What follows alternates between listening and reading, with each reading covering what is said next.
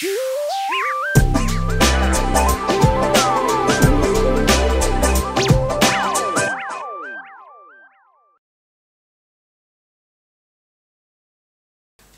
memory, perché sì, perché ora. Allora, questa è una presentazione che parla di flash memory, in realtà parla, eh, parla di storage in generale, storage moderno, e qualcuno di questi concetti eh, poi può essere espanso a tutta l'infrastruttura.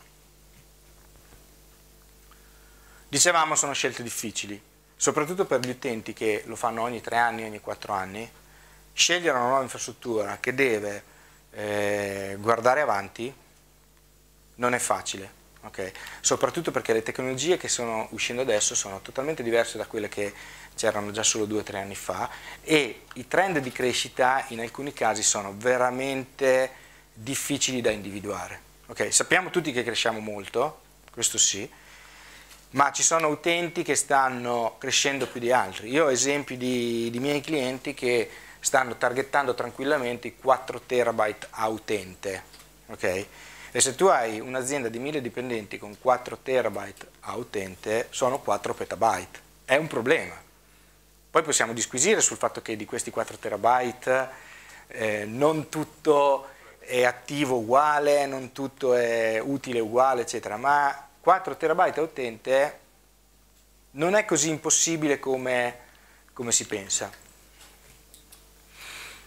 È una questione di strategia quindi, è una strategia di lungo termine ed è difficile. Perché noi ah, siamo costretti a vedere queste tecnologie nuove? Alcune di queste, alcune delle cose che parlo oggi, non sono pronte.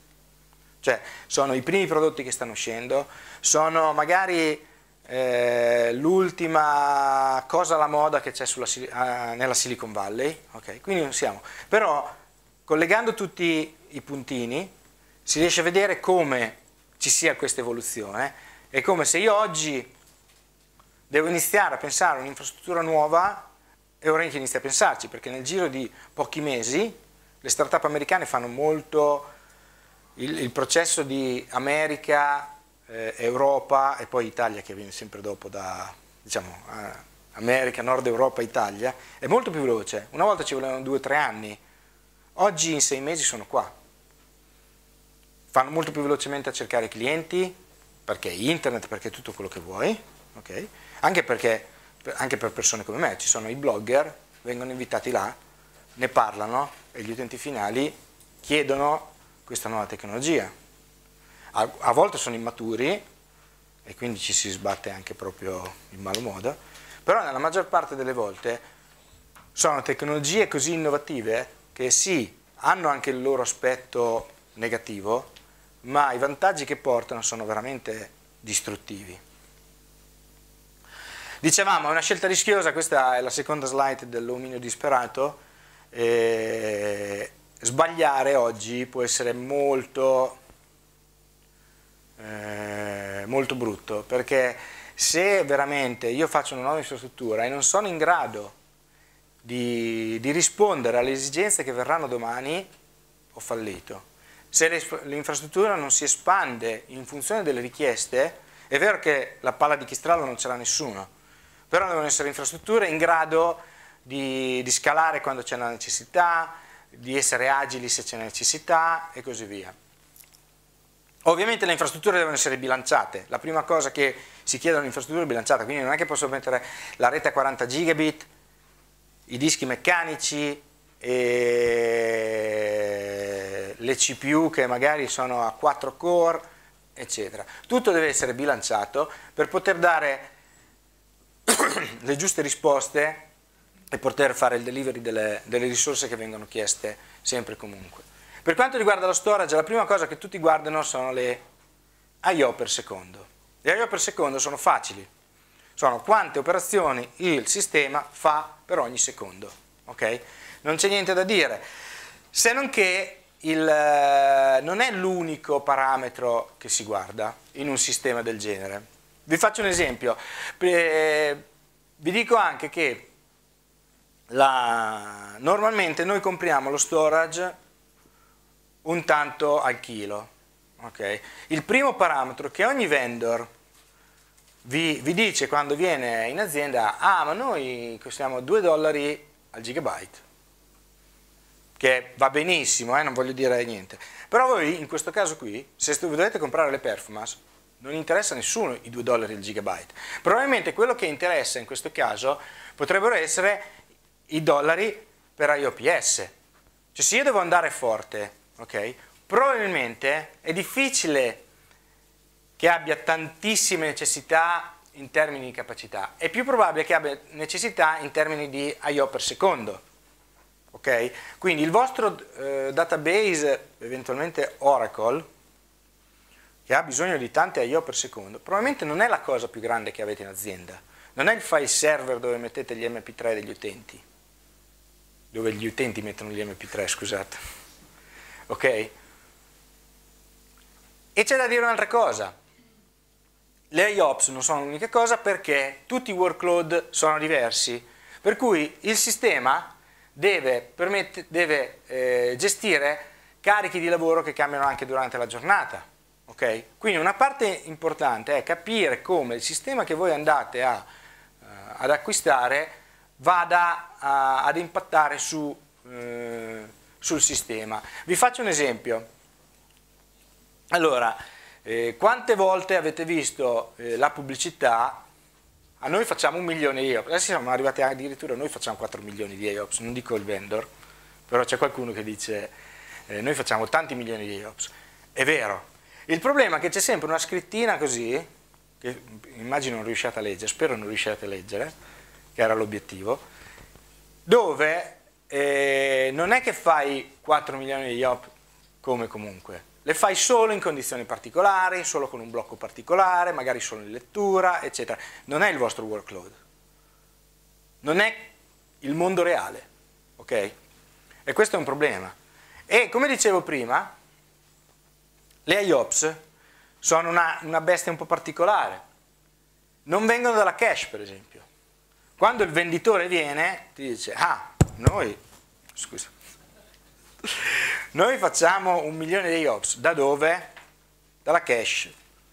Quindi mediamente il, eh, il venditore, lasciatemi usare la parola ignorante, nel senso che ignora la materia, o il rivenditore furbetto, vi dice il dato di targa del controller. Quindi con tutte le condizioni favorevoli, magari in sola lettura, magari leggendo solo dalla cache. Peccato che la cache è infinitesima, molto più piccola, molto più piccola della quantità di storage che avete a disposizione. Quando uscite dalla cache il gioco è finito. C'era qualche tempo fa, andava di moda un, un fornitore che aveva un sistema molto eh, cache oriented. Okay? Il problema qual era? Che appena si usciva dalla cache si passava da eh, sotto il millisecondo a 200 millisecondi perché il back-end di questo sistema era solo SATA. Quindi il sistema era tutto meno che predicibile e è vero che potenzialmente eh, era un sistema che aveva diverse decine di terabyte disponibili, se non nelle ultime versioni centinaia di terabyte, ma in realtà l'utilizzabilità come sistema primario di questo sistema era limitata a, un, a una percentuale molto piccola della capacità eh, esposta. Vi do un numero che spesso si ignora. Un disco rigido meccanico okay, da 10.000 giri fa 152 I.O., quindi quei dischi da due pollici e mezzo che abbiamo sulle nostre cose. Questo è quello che fa un disco oggi. Eh, un uh, disco SSD ne fa 60-70 mila. Okay? a parità di condizioni. Mentre se lo spremo bene, quindi con le giuste ottimizzazioni, leggendo i dati nella parte giusta del disco, perché ovviamente la testina si muove, quindi se io riesco a far leggere i dati tutti nella stessa porzione di disco vado un po' più veloce, diciamo che mediamente posso arrivare a, a tirar fuori 200 IO, ma non è un grande numero, ok? Ce ne vogliono tanti per fare, per fare il, eh, le I.O. di cui posso aver bisogno oggi. E c'è da dire un'altra cosa, un'altra cosa che va a impattare sulle performance è eh, la latenza, Cioè se io prendo un freccia rossa, faccio Milano-Bologna-Milano, okay, considerando che Milano-Bologna è un'ora, quindi se io avessi questa freccia rossa, vado a Milano, apro la porta, prendo un pacco, chiudo la porta e riparto, ci metto due ore. Se io lo dovessi fare con un treno regionale, anche se il treno regionale non facesse fermate intermedie, okay, già solo per il fatto che la velocità è la metà, ci metto 4 ore. Okay? E ovviamente ho usato la stessa linea, quindi che ha la stessa portata, ma il tempo che quel pacchetto ci ha messo per fare la strada è il doppio. Allora, tutto quello che ho detto eh, l'ho riassunto qui. La mia prima esperienza con la memoria flash è stata diversi anni fa e c'era questo signore che aveva un batch job di 36 ore. Era l'MRP della sua azienda, quindi il, il ricalcolo del magazzino, azienda grande. E il problema qual era? Che senza il ricalcolo del magazzino loro in produzione non ci andavano perché non sapevano che pezzi avevano per produrre le macchine, quindi non sapevano quali macchine potevano produrre, come mettere organizzare la produzione, eccetera. 36 ore, partendo il sabato, finisce la domenica. Bastava un errore qualsiasi da qualsiasi parte, per cui loro lunedì mattina passare a 48 è un attimo, parte il backup nel momento sbagliato, eh, un job che, che non va proprio come deve andare, eccetera, eccetera, eccetera. Era tutto IO weight, cioè guardando nei server c'era l'IO weight che era una percentuale elevatissima. Adottiamo la flash. La prima flash, un terabyte di flash, dischi da 100 GB costavano 7.000 euro l'uno. Okay? Quindi è stato un investimento, il signore ha, ha dovuto fare il suo investimento. La latenza si è abbattuta mostruosamente, le I.O. non sono aumentate tantissimo e siamo passati a 11 ore. Ok? Bene, però con l'investimento che ha fatto, 11 ore sì, è stato un miglioramento.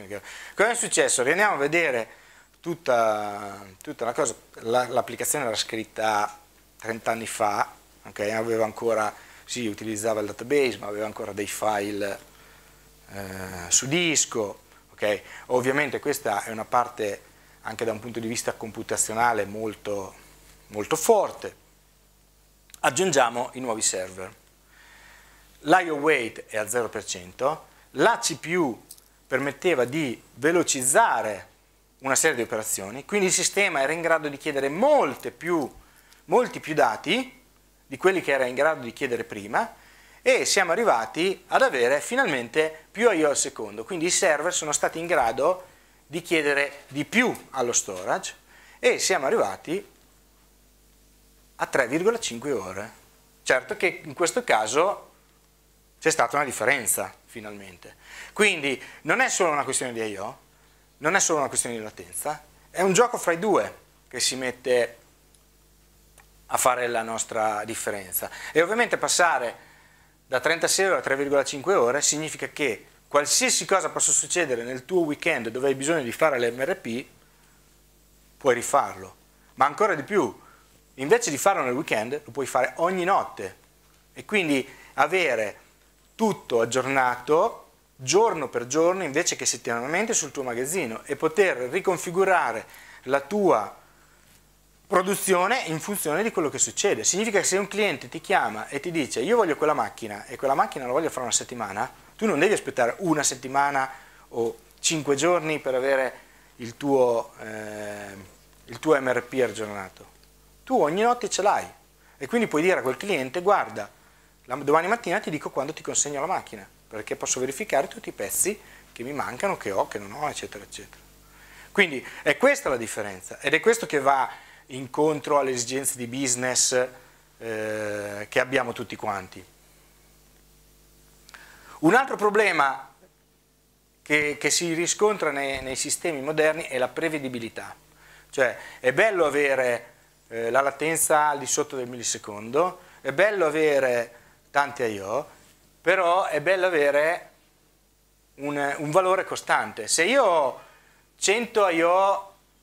sotto il millisecondo e una di 100 millisecondi, non va bene. Se io devo, eh, ad esempio questo qui è molto eh, equiparabile al garbage collection dei, dei, dischi, dei, dei dischi SSD. I dischi SSD non lavorano come dischi normali, quindi ogni tanto fanno un'attività per cui devono ripulire le celle che non sono state usate, devono riorganizzare i dati all'interno, semplifico per farla semplice. Questa operazione vuol dire che il controller all'interno del, del disco deve fare dell'altro rispetto a, a, rispondere alle vostre richieste. Facendo quello rallenta. Okay? Ci sono delle tecniche che se utilizzate correttamente permettono di eliminare quasi del tutto la garbage collection, per esempio sapere dove scrivo i dati, oppure sapere di che dimensione scrivere i dati, okay? in modo da fare, eh, minimizzare questa attività e portare questo livello ad un numero che è costante. Non tutti lo fanno, però è importante saperlo perché, ripeto, la prevedibilità è tutto. Se io non ho un workload prevedibile, non so quanto ci metto a fare quel, quel lavoro. So che teoricamente ci metto tot, ma può cambiare di giorno in giorno. Ovviamente questo è un altro esempio. Se il mio eh, sistema deve lanciare dei lavori ad una certa ora del giorno, ad esempio, non fa il, eh, la deduplica inline, ma la fa post processing, Vuol dire che a un bel ora del giorno lui deve rileggersi tutti i dati che sono stati scritti, verificare le hash table, eccetera, eccetera, e fare questa attività. Questa attività che può essere impattante, impattante per altre cose. Magari in quell'ora lì c'era un job di backup che un giorno ci mette un'ora, un giorno ce ne mette cinque. Quindi la prevedibilità del, del sistema è importantissima. Ovviamente anche l'elasticità è importantissima, è, un, è una questione di efficienza, cioè non è solo allocare risorse che è importante, ma anche quanto devo deallocare le risorse che è importante. Cioè se il sistema non è in grado di allocare e deallocare con la stessa semplicità le risorse, io mi ritroverò nel tempo un sistema che è inutilizzabile. Fino a un paio di anni fa c'erano dei vendor che non deallocavano lo spazio usato okay? anzi ancora oggi ce n'è qualcuno. Quindi tu, ad esempio il theme provisioning, okay? con Windows, Windows ha un, ha un file system okay? che eh, scrive in maniera lineare, quindi segnala al sistema che ha svuotato dei blocchi quando questi vengono cancellati, ma in realtà continua a riempire il file system in maniera lineare, fino a quando non arriva in fondo e riprende. Okay? Questo modo di funzionare fa sì che eh, tutte le tecniche di team provisioning che usiamo normalmente vengono eh, eliminate. Quindi se io riempio, creo una LUN da un terabyte e la riempio in una settimana, okay, anche se cancello i file, quella dopo un po' è un terabyte. Sono stati aggiunti dei comandi per avvisare lo storage che c'è sotto che alcuni blocchi sono stati cancellati e quindi sono liberabili. Se lo storage ad esempio non lo capisce, questo comando e lo scarta, il tuo film provisioning non funziona. O meglio, funziona il giorno zero quando lo implementi, dopo una settimana tu ti ritrovi il sistema pieno, anche se in realtà la macchina virtuale o il sistema operativo di una macchina fisica ti dice che ci sono tanti centinaia di gigabyte pieni sul tuo tera che avevi allocato. Una parte importantissima che viene oggi eh, gestita è quella della riduzione del footprint. Allora, alcuni sistemi sono in grado di comprimere e di deduplicare i dati. Significa che soprattutto nei sistemi flash, perché prima non era in realtà possibile farlo inline, quindi mentre i dati venivano ingestiti dalla macchina, oggi con questi sistemi possiamo eh, migliorare tantissimo l'efficienza del singolo media da un punto di vista di capacità, perché tutti i dati uguali non vengono replicati e tutti i dati eh, possono essere compressi ad un certo livello, alcuni praticamente nulla, altri tantissimo. Per cui questo ci porta ad avere anche 5 volte in media lo spazio che teoricamente abbiamo acquistato, cioè noi compriamo un sistema che ha un terabyte, in realtà in produzione magari sono 5, a volte 3, a volte 20, dipende dai dati che noi andiamo a mettere. Ad esempio, se il sistema viene utilizzato per il VDI, dove tutti i PC che vengono virtualizzati sono identici, probabilmente non è difficile arrivare a 20 a 1. Okay? Per cui queste sono tecnologie molto importanti che aiutano a, a far diventare il sistema più efficiente. E un'altra cosa che ultimamente è venuta fuori, ad esempio eh, VMware ha eh, annunciato da non tantissimo tempo fa il VVOL. Eh, VVOL praticamente è una tecnologia tale per cui una macchina virtuale viene entro contenuta in un unico oggetto, per semplificare in un unico oggetto, in realtà sono diversi oggetti, ma in, eh, in un unico oggetto, in una LUN, okay? e questo fa sì che noi possiamo per quella macchina mm, singola definire il livello di performance, definire eh, la quality of service, quindi quante, quante risorse dare a quella macchina lì, okay? una volta non era possibile. Ovviamente questa è un'altra, un caratteristica che se noi andiamo sui sistemi primari diventa fondamentale, okay? perché io voglio sapere se il mio database che eh, manda avanti l'azienda ha tutte le risorse a disposizione quando il, eh, il file server del eh, secondario per l'archiving di, di qualche dato se non va alla velocità della luce è uguale, anzi quando ne avanza gliele diamo e se no eliminiamo il problema. E eh, un'altra cosa importante è l'automazione. È sempre più importante all'interno no, delle nostre infrastrutture automatizzare il più possibile. Questo perché facciamo sempre più cose, okay? gestiamo sempre più servizi e, più servi e molti di questi sono attività ripetitive al 100%. Quindi più le facciamo e meglio è. Sempre al lato data services un'altra cosa importante è l'integrazione.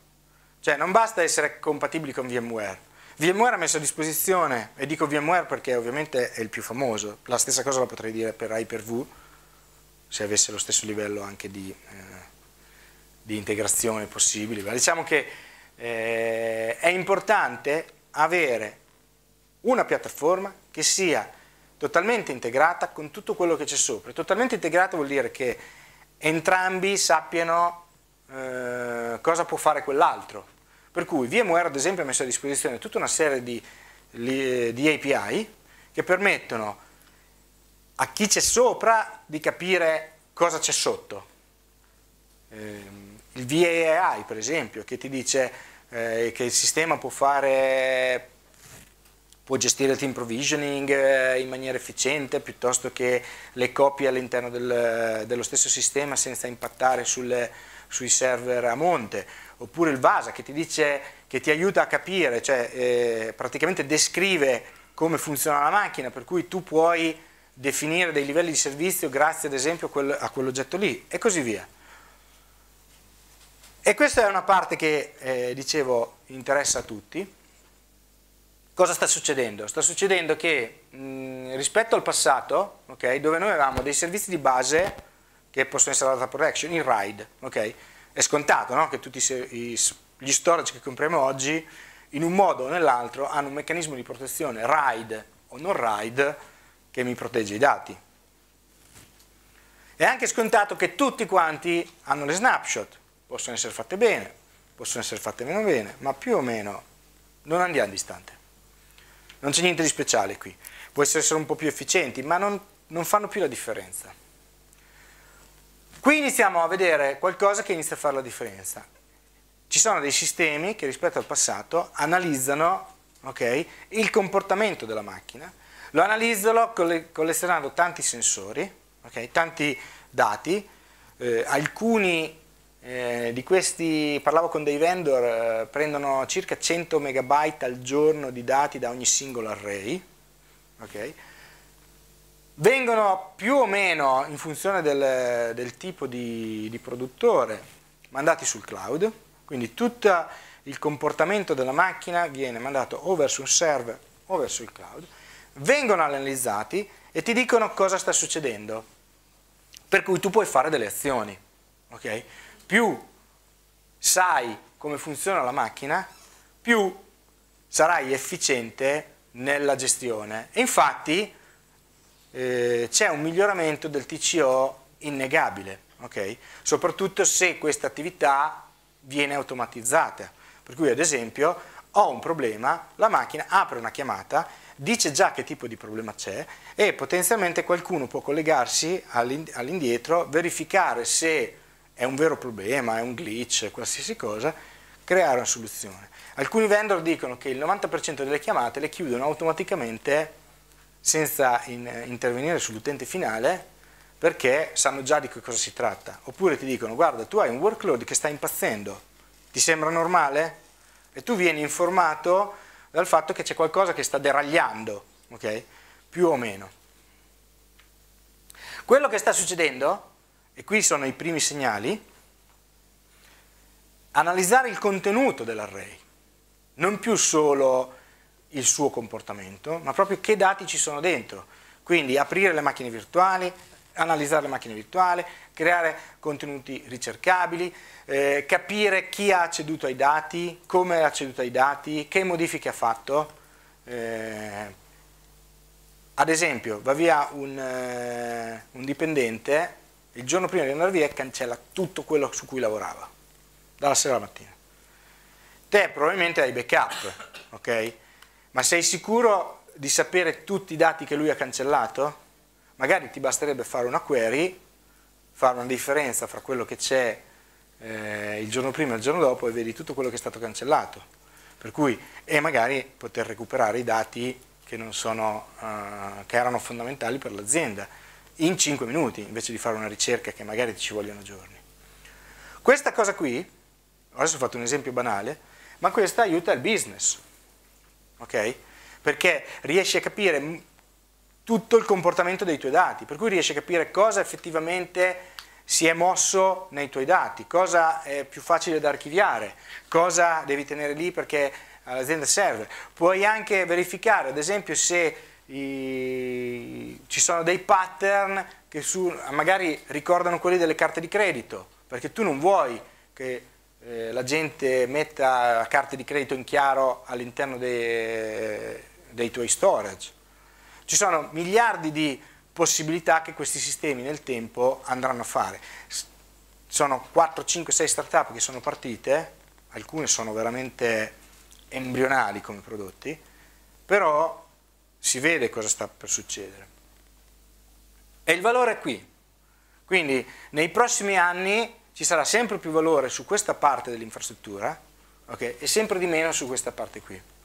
Tant'è che questa parte, che è, è già gestita in, eh, in molti casi sul cloud, mentre la parte di supporto, di management è ancora molto in casa, dicevamo on-premises e, e sul cloud, la parte di supporto e management si sta spostando sempre di più e questo sta eh, capitando a tutti i livelli. Okay? Ad esempio nel networking ci sono delle start-up che sono state acquisite da aziende primarie okay? che avevano proprio messo tutta questa parte qui di management della rete sul cloud, cioè tu hai gli appliance in casa ma tutto il management viene fatto dall'esterno.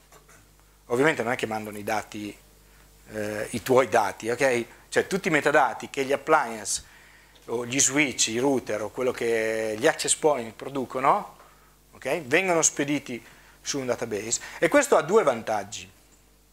Ha un vantaggio che intanto non devi gestire la piattaforma di management, che è la cosa più complicata. Cioè, nel processo di vita di un'infrastruttura il deploy può essere complicato, ma è uno. Dal giorno 2 c'è il management che è per tutta la vita. Okay? E il management, oltre ad essere uh, la parte più... Perché hai fatto quella faccia? No, no, no, stavo... La, mm, la, La parte del manager è la parte più complicata, ok? Ed è, la parte più, è una delle parti più ostiche perché anche solo eh, dover eh, aggiornare l'interfaccia della management, dover aggiungere funzionalità all'interfaccia di management è veramente eh, difficile. Se c'è qualcun altro che ti libera di tutta questa parte qui e lo fa per te, e tu ti ritrovi un bottone in più con una funzionalità nuova, un report in più con una funzionalità nuova e ti arriva una mail dicendo oh abbiamo aggiunto questo, se non ti serve non lo usi, ma se ti serviva lo usi ed è gratis, cioè non hai dovuto fare niente per ottenerlo, ok? Ovviamente te lo fanno pagare carissimo, com, com, almeno come contratto, però...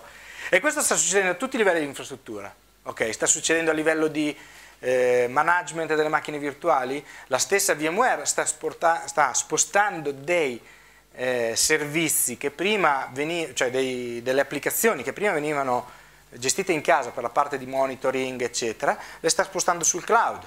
Okay? La stessa cosa la sta facendo eh, su OpenStack, esistono dei, dei OpenStack è complicatissimo come tipo di ambiente, Okay? È vero che se qualcuno ti gestisce, ti dice, ah, noi ti diamo un plugin da mettere sul, semplifico, eh, qualcosa di più un plugin, comunque da mettere sul tuo server e tutta la parte di management di OpenStack la facciamo noi per te. Quindi te l'unica cosa che devi vedere è l'interfaccia grafica, la tua gestione, le tue API, quello che ti pare, però diciamo che eh, ti viene liberata tutta la parte di installazione, ti viene tutta, liberata tutta la parte di... Abbiamo detto il networking e abbiamo detto lo storage. Ok? Quindi questa è la parte installata in casa, questa è la parte dove c'è il valore che nel tempo verrà gestita sul cloud. Sto andando lungo.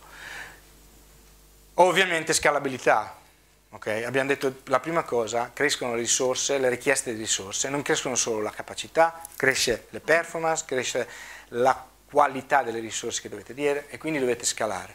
Oggi bisogna cercare sistemi scalabili, sempre e comunque. Il modello più facile è quello dello scale out, ma esistono altri modelli, tipo quello della federazione di diversi sistemi. Quindi se io riesco a mettere due sistemi che non fanno scale out, quindi non è che aggiungo risorse e tutta la mia infrastruttura eh, ne gode, ma ho già un sistema che aggiungendo un altro, eh, un altro nodo, un altro, un altro, array, un altro switch o quello che è, io riesco a spostare il carico in maniera più o meno trasparente rispetto ai miei, ai miei server ho già avuto vantaggio.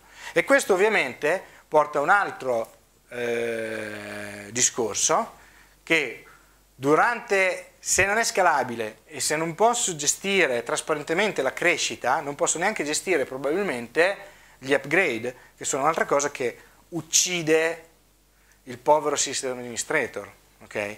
E tutti quelli che ci stanno vicino a lui. Quindi bisogna evitare i forklift upgrade sia con la scalabilità orizzontale che con questi sistemi di federazione su cui alcune aziende stanno iniziando ad adottare, questo è possibile. Se queste cose non sono possibili, vi dovrete fermare la produzione e fare l'upgrade probabilmente. È vero che a livello software esistono delle possibilità, ad esempio VMware ha la possibilità di migrare lo storage in maniera trasparente alla macchina virtuale, ma non tutti usano VMware e ancora oggi ci sono delle macchine fisiche in azienda che di solito per un motivo o per l'altro potrebbero essere anche le macchine più critiche. Quindi non è facile fare le migrazioni, se c'è qualcun altro, se l'infrastruttura, mettiamola così, lo fa per te, è meglio. Comunque ritorno all'inizio, i sistemi devono essere bilanciati, ok? Devono stare in piedi, non bisogna fare delle cose che siano assurdamente eh, in un senso o nell'altro. Domande?